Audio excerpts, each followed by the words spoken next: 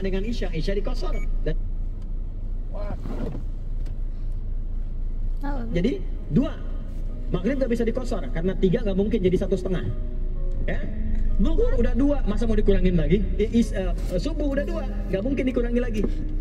Maka dari itu subuh menyendiri sendiri. Nah, ada apa kemuliaan di subuh itu? Maka turunlah Quran surah ke-17 ayat 78 yang tadi saya bacakan di awal. Aqimis salata liduluki syamsi ila ghasaqil lail. Sampai sini zuhur sampai isya. Duluki syamsi tergelincir matahari itu zuhur. Sampai ghasaqil lail tiba malam itu isya. Lalu tutup ujungnya wa qur'anal fajr. Khusus untuk subuh itu ditambahkan selain sholat ada bahasa Quran di Quran sendiri. Khusus untuk subuh redaksinya ditambahkan dengan Quran. Apa itu Quran? Halo, apa itu Quran? Kalau tidak tahu cepat katakan wallahu a'lam deh. Apa itu Quran? Wallahu a'lam. ada Quran, ada Al ada Quran, ada Al-Quran. Kalau yang disebut Al-Quran itu mutlak firman Allah.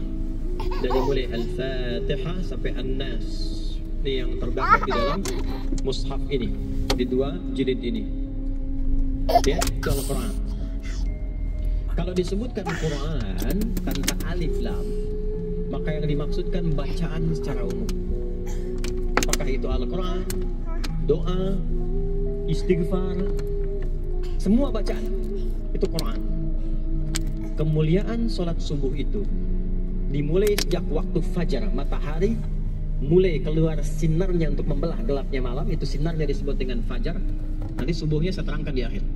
Sinarnya dibelah membelah kegelapan malam fajar sodik maka pada saat itu bukan hanya sholatnya yang punya keistimewaan seperti sholat asar tadi tapi semua bacaannya langsung dijawab seketika oleh Allah Subhanahu wa taala. Dipersaksikan oleh seluruh malaikat dan dijawab langsung oleh Allah Subhanahu wa taala.